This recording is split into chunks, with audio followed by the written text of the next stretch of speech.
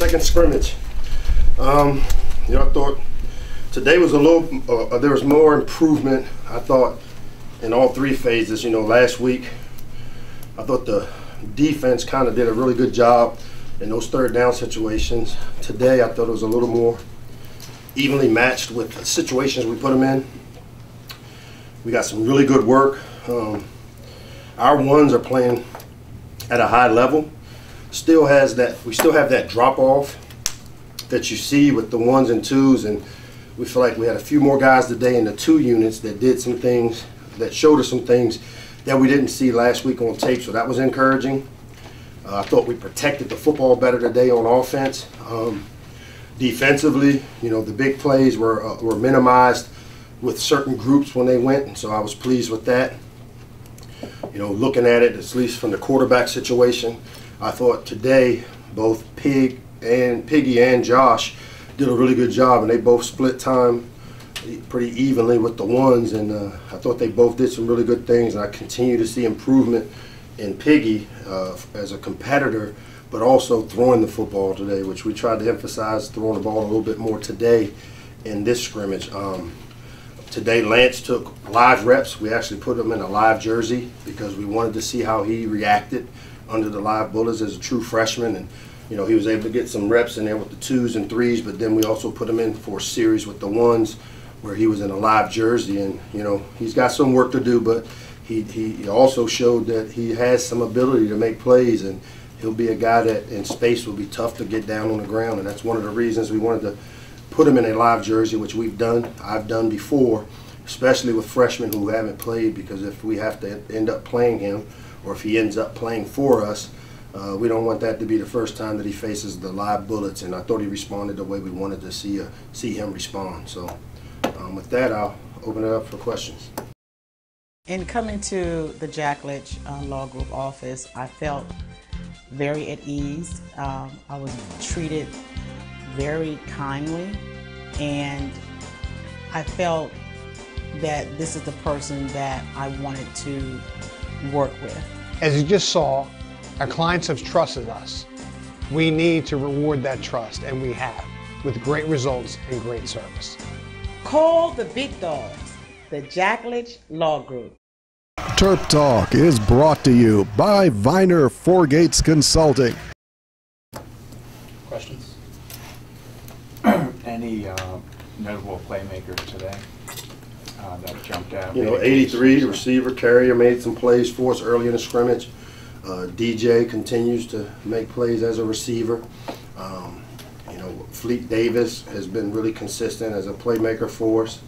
Uh, you know, Tyler Mabry today made a couple catches that, that impressed me.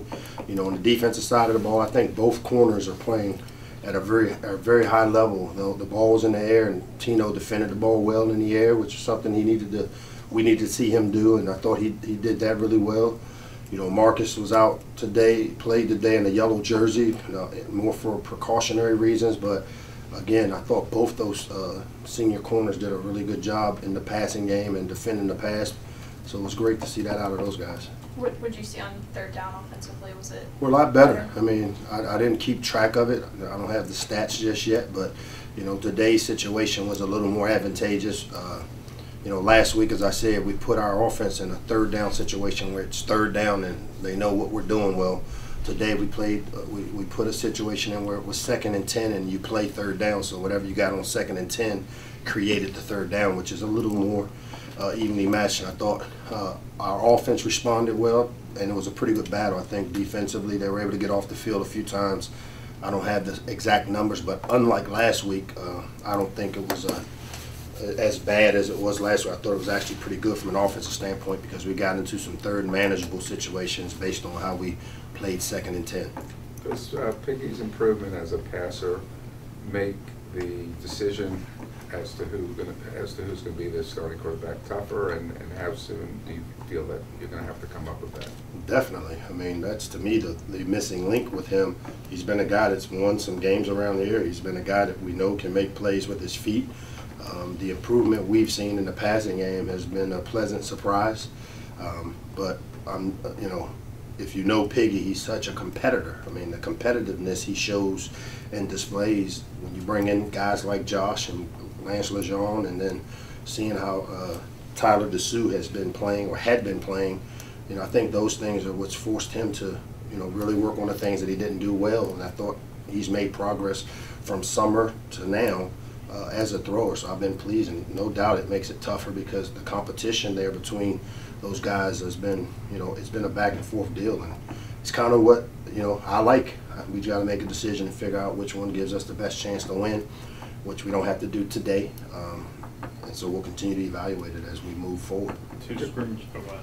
And just to follow up, when, when would you, in your mind, when would you like to, to, even if you don't announce it, Yeah. when would you like to? I mean, going into our Howard prep, I mean, you know, that Sunday or Monday before the Howard game, uh, you like to get a little uh, consistency in the units and have an idea of who that guy will be. And again, you know, I think both guys, Piggy and Josh, have done some good things. I liked what I saw out of Lance today in a, a live jersey, and then, you know, Tyler has some ground to make up just in decision making and, and leading the, the offense, which, you know, coming out of spring, I was really pleased with where he was at. I'd say after the last few practices, you know, I'd like to see a little better out of Tyler DeSue, which I, I'm sure we'll get from him. two scrimmages in. How's the punting situation look in your estimation? It's been very encouraging. I think both both the punters, both the freshman guys, you know, have has hit the ball well. Um, unlike last week where I thought we had some protection issues, and, and I thought today with the protection was good. We were able to get some some balls, and we, they both made made strides in the punting game. So I feel good about it. You know, we have a lefty and a righty, and so you know that creates challenges for people. And uh, you know, we're continuing to evaluate it, but I've been pleased with both the freshman punters. Coach, at the uh, corner spots, I know Marcus and Tino are entrenched there. How do you see depth coming up? Who's rising up in that two? We got a bunch of guys that are playing. Kenny Bennett is running with the twos, and you know Vince Flythe has uh, been getting some two work along with you know Deonte Banks, the freshman, Gator. I mean, we're trying to figure that out. I mean, we've got a lot of good young players at the at the position at corner. Um, you know, Kenny Bennett has been a guy that's kind of done some nice things. Uh, he was a little nicked up today, and then I also like the way um, Deonte Banks has looked when he's getting some opportunities to play. Right. Coach, the, I'm sorry.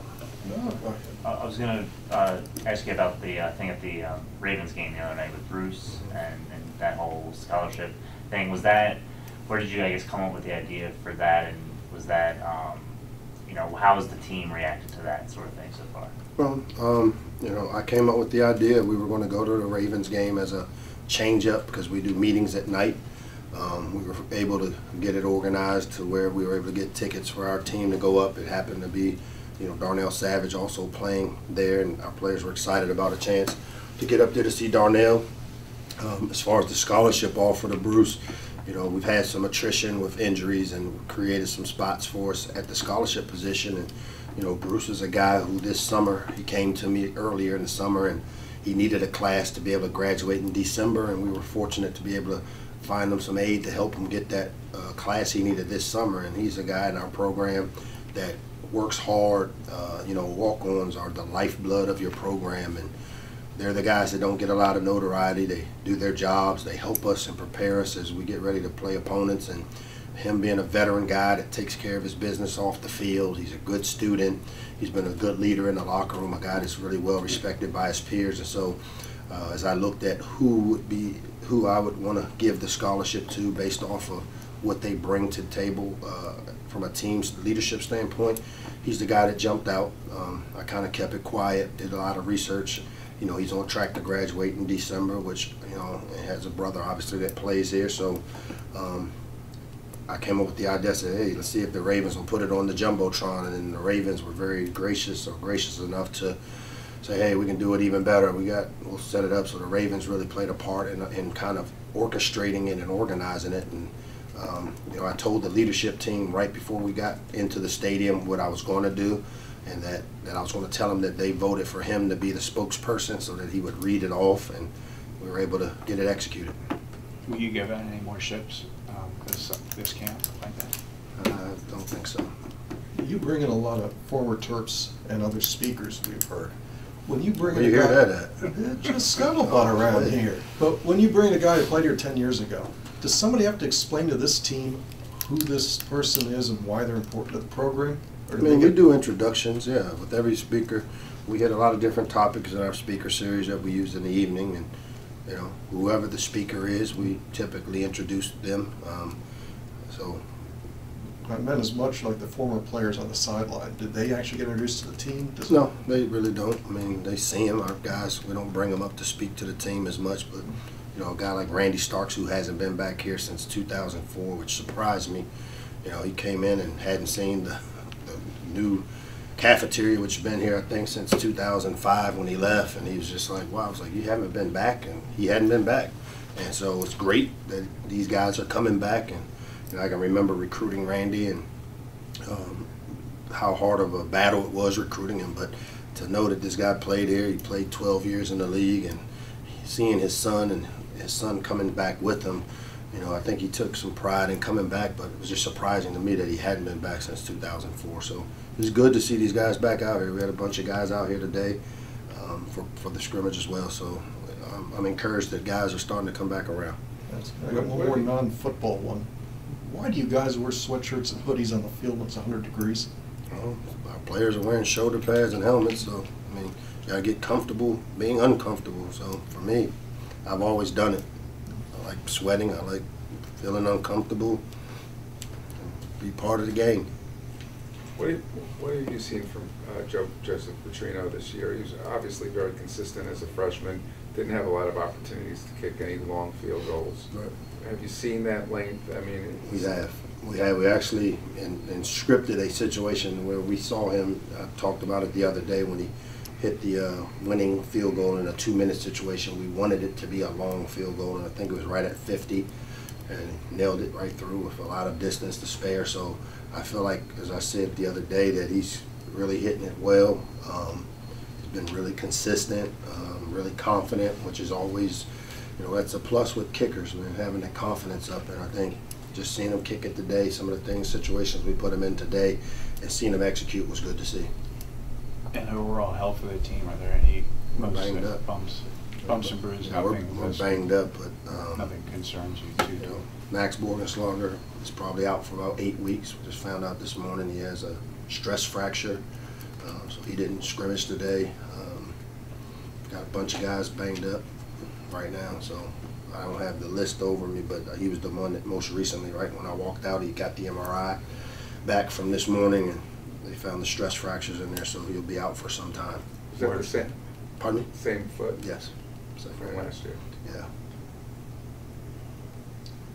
Now, I don't know if it's his foot or his leg, Okay. so don't quote me that I said foot and it ends up But it's his the leg. same, Something's, I think it's something to do with the injury he had last year, because I don't know what he had last year, but it made it seem like it was in reference to whatever the injury was last year. Speaking of the quarterback situation, um, you know, you talk about the competitiveness of Piggy.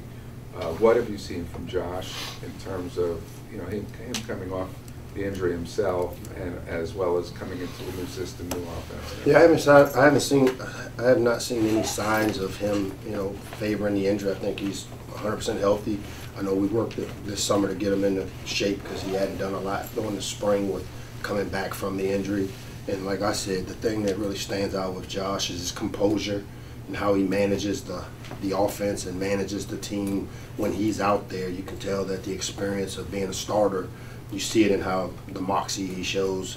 Um, he doesn't get, you know, doesn't get frazzled or razzled really quickly uh, with all the things our defense has presented to him. I think he's handled it well. You know, I'd like to see him get the ball out a little quicker, make some faster decision, decisions, and uh, you know, he's had a like I said, he and Piggy have both done a really good job, and they both are battling it out. It's going to be interesting. For two more. Did you feel like pass protection was better? today? Way better today. Way better today. And we put them in some situations where we had to throw the ball, and we wanted to throw the ball. We know with our running backs and what they're capable of. We wanted to see us protect. We wanted to see us manage third down. We wanted to see the quarterbacks throw. We wanted to be able to get the ball out on the perimeter in space and figure out this receiver position and get the best three guys out on the field. So we've got a lot of good tape to evaluate and make some decisions from. Just lastly, true freshman class, I know a million things can change, injuries, blah, blah, blah. But when you look at this group, do you think most will play, half will play, only a handful? So early for that for me. Um, I couldn't even begin to tell you until I watched the tape today. We've had two scrimmages. Uh, I do see that at least five to six guys that have been working within the systems of ones and twos that are starting to show out, but uh, determined, I mean, we've got the four games to play them all to try to figure it out. Um, we're going to utilize those games to develop our team and develop the freshmen um, as we see fit to where if we are capable of doing that. So, um, but there's at least a handful of guys that I see based off of the last few weeks of camp that, that, that should be in position to at least provide some depth, if not um, some meaningful work for us. Thanks, Coach. Thanks, everyone.